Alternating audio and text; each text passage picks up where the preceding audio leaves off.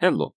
Public and private clouds are gaining traction day by day with cost and operational efficiency they bring.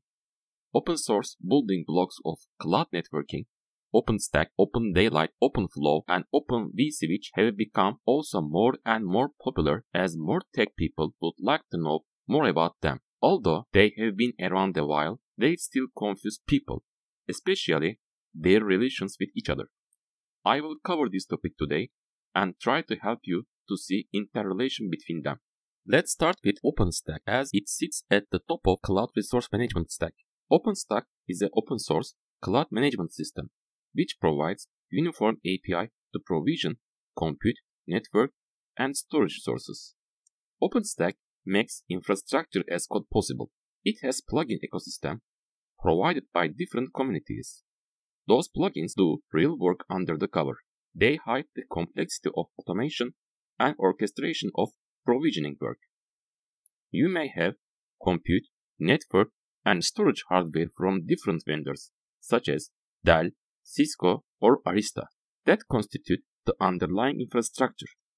But they are presented to OpenStack as a pool of number of CPUs, amount of RAM, number of networks, IP addresses, or simple hard drive or object block storage space.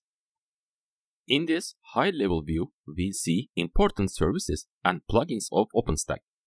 OpenStack allows you to consume those pool of resources.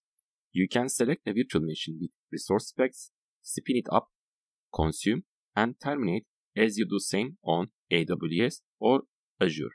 There are also commercial versions that are built on top of open source version to answer enterprise demands, such as single pane monitoring, rolling upgrades, security, and role-based access. Now, let's start defining SDN to understand relation between OpenStack and other open source technologies that are subject to our presentation. Software-defined networking is an approach to networking that uses application programming interfaces to communicate with underlying hardware infrastructure and direct traffic on the network. SDN allows having programmable central control of network traffic via controller without requiring physical access to network devices.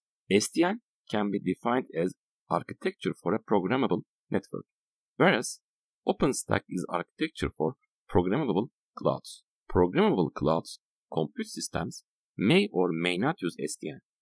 OpenStack supports integration to SDN controller and traditional networks with existing protocols together. This view helps you to understand the relation between mentioned open source technologies. OpenStack is at the application layer. Open Daylight sits at control layer. Virtual and physical network devices comprise infrastructure layer. Now, let's see the details of Open Daylight.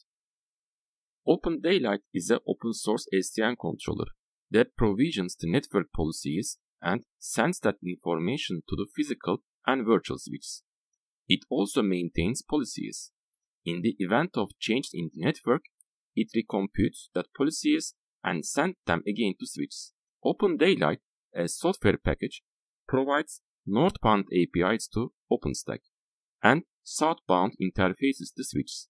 By means of Open Daylight northbound APIs, OpenStack can control physical and virtual switches. If you go back to SDN high-level view, you will see the interface between control and infrastructure layer, where OpenFlow protocol is introduced. OpenFlow is the protocol used to program virtual switches on hypervisor and traditional physical switches that supports OpenFlow protocol. By means of this protocol, SDN controller communicates and manage virtual and physical switches. Now, Open vSwitch comes to the picture. By means of Open vSwitch software package, you can create virtual switches on hypervisors or virtual machines.